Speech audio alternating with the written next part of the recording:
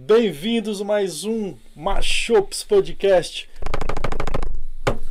Marcelo Fávaro! Uma salva de palmas! Tem um canal no YouTube chamado Conto um Conto. E Conto histórias para as pessoas. Já contou a loira do banheiro ou não? Eu era um menino da Coab. Você chegava na Coab pra curtir sua galera, cara?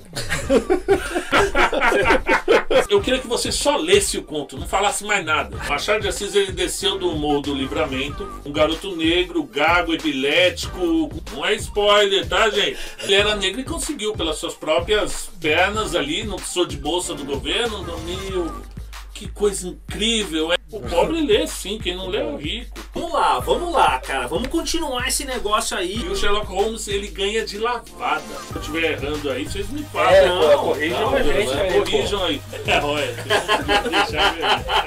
Ah, é, é, é essa a intenção mesmo.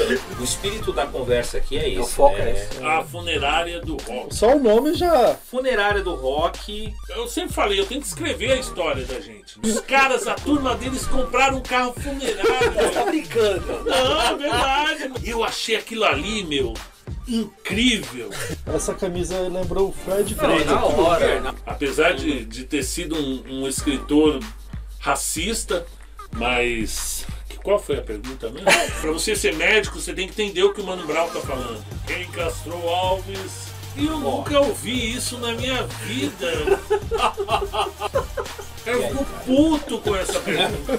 Se não traiu, deveria ter traído, mas deveria muito ter traído. Ó, tô sendo meio cringe aqui, né? A pessoa parece que tem uma necessidade de xingar o Paulo Coelho. Obrigado a galera também. O pessoal que ficou Tinky Winky. até agora. Todo mundo Gypsy, que- Lala, pô. Gypsy, la la, oh, Teletubbies.